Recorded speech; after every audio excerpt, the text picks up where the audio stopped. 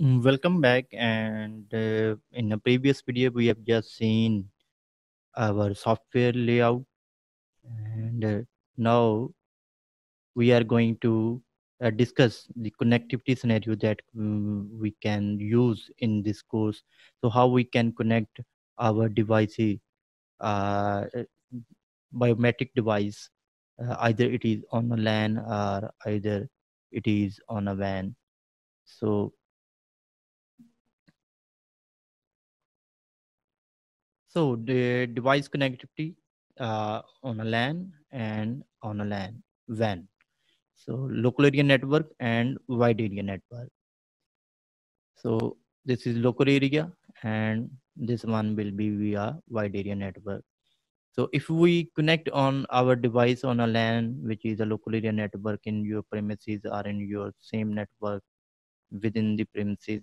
So what IP scheme? There must be an IP scheme that we can gonna go configure on devices router either in a switch and or your peripheral device, uh, your PCs and other devices, peripheral devices just like printer, scanner, and all that. So what the scheme that we are going to to do it? So if we uh, see, so here is a scheme that normally we are used in our private uh, network. These IP schemes, uh, you may you have to consider that these are IP schemes are not routable. They cannot be configured on a uh, uh, they cannot be routed on a router or you may see uh, they cannot be routed on uh, internet so these are the private ip scheme that are going to configure on a private uh, your premises network. So that's why these ip schemes are always configured on a lan. So one was is class a. You normally not uh, familiar with these classes. There are three classes of more than uh, d and for uh, a b c d. So these three classes are reserved for a private networking. IANA is given that uh, allow the these IP scheme you can go configure on your private network. So they cannot be these IPs cannot be routed on mm, your internet. So if as far as class A is concerned, so you have you may you have a network of uh, IP scheme 10.0.0.0.0 and to 10.0 two double five, two double five, two double five. So somehow, uh, if you have a large private uh, LAN networks, you also can configure a scheme 172.16.0.0 to 172.31.255, So as as well, the most famous scheme in a pri private uh, IPs on a LAN. So it's on 192.168.0.0 to 192.168.2.255.255.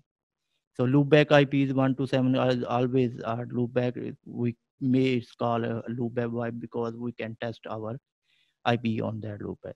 So the IP scheme of 192.168 we will configure on our, LAN network. So th this is the scenario that we are going to discuss.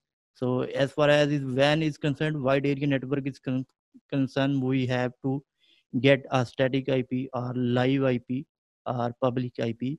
So the ISP you are using, you are getting the internet from your ISP. So you have to mm, buy uh, this IP from your ISP. So static and live and public IP both are the same in category. So so this one we can get on from your USB. So uh, now let's discuss our LAN. Okay, what scenario will be one can be figure we can figure out on LAN. So let's jump to our next slide. So this is a LAN model. So we have, uh, let me,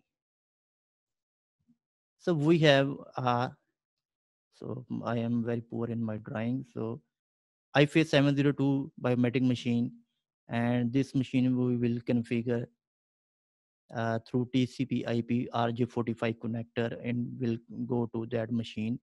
And this connector will uh, go to switch. You may